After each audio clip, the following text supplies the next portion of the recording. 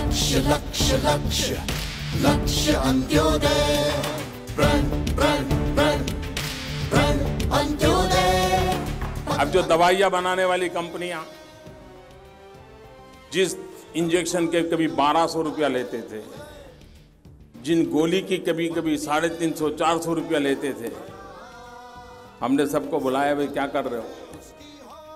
कितनी लागत होती है? क्या खर्चा होता है? और नियम बना करके जो दवाई 1200 में मिलती थी वो 70 अस्सी रुपये में कैसे मिल जाए? जो 300 रुपये में मिलती थी वो 30 रुपये में कैसे मिल जाए? करीब 700 दवाइयाँ उसके दाम तय कर लिए ताकि गंभीर से गंभीर बीमारी में गरीब से गरीब व्यक्ति को सस्ती दवाई मिले। ये काम किया है। गरीब का बन जाए। बस आरोग्य सेवाएँ सुचारू रूप से उपलब्ध हो। उस दिशा में सरकार एक के बाद एक कदम उठा रही है। हम कानूनन व्यवस्था करने वाले हैं। डॉक्टर पर्ची लिखेंगे तो उसमें लिखेंगे कि जेनरिक दवा खरीदने के लिए उसके लिए काफ़ी है और दवा खरीदने की ज़रूरत नहीं है।